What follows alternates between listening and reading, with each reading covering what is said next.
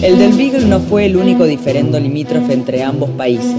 En 1856 firmaron el Tratado de Paz, Amistad, Comercio y Navegación, que otorgaba a cada estado lo que poseía en 1810.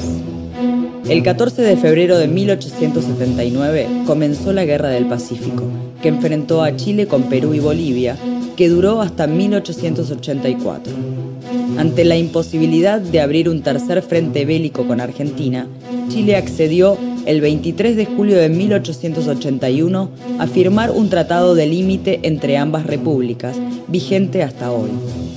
Dicho tratado resolvía que el límite entre Chile y Argentina correría de norte a sur por las cumbres más elevadas de la cordillera de los Andes que dividieran las aguas y pasaría por entre las vertientes que se desprendieran a un lado y a otro.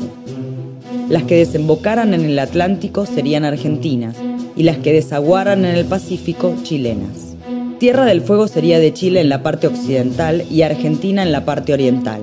En cuanto a las islas, pertenecerían a la Argentina la isla de los estados, los islotes próximos a esta y las demás islas que hubiera, sobre el Atlántico al oriente de Tierra del Fuego y en las costas orientales de la Patagonia. Y pertenecerían a Chile todas las islas al sur del Canal de Beagle hasta el Cabo de Hornos y las que hubiera al oeste de Tierra del Fuego.